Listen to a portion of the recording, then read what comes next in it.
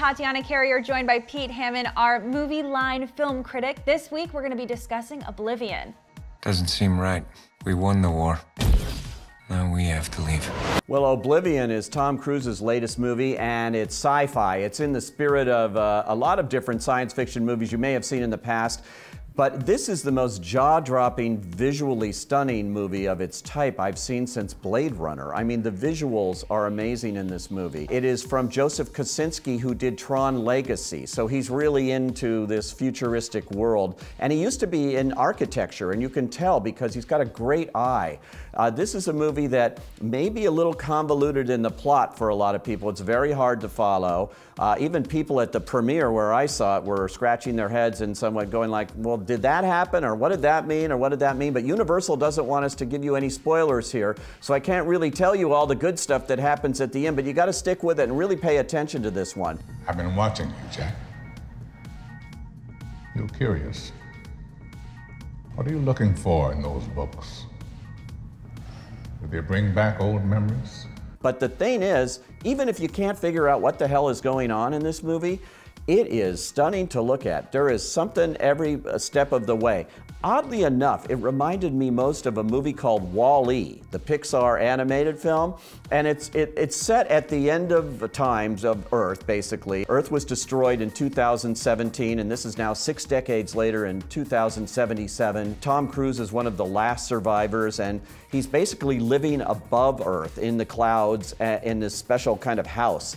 Uh, and he goes down and he, uh, he uh, fixes the drones, which are there, which are very important for the uh, uh, survival of what's left of the human species. And so he visits Earth and goes to all the monuments that are all, you know, knocked over, like the Empire State Building and the New York Public Library. And it's quite a vision of, of a post-apocalyptic uh, Earth here.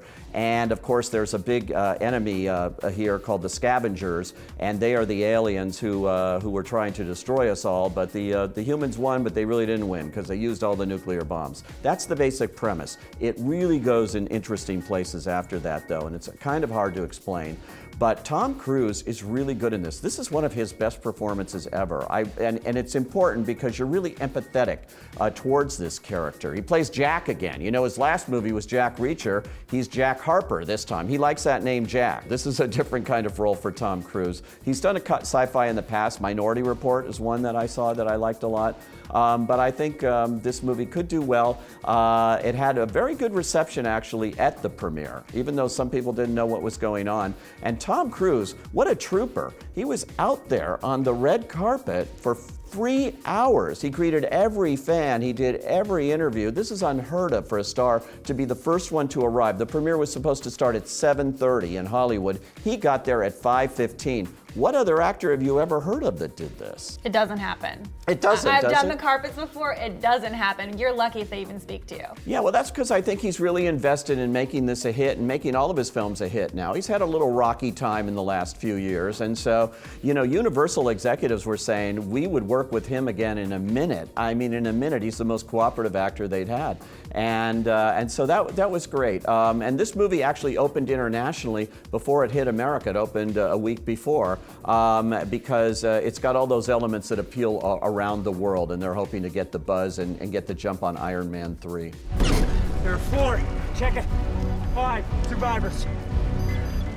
They are human. So, Pete, is this a go or a no? Well, if you're fans of science fiction and, and, you're fans of Tom Cruise, it's definitely a go. If you have a hard time following this kind of stuff, you might be lost in it. But I would say overall, it's a go.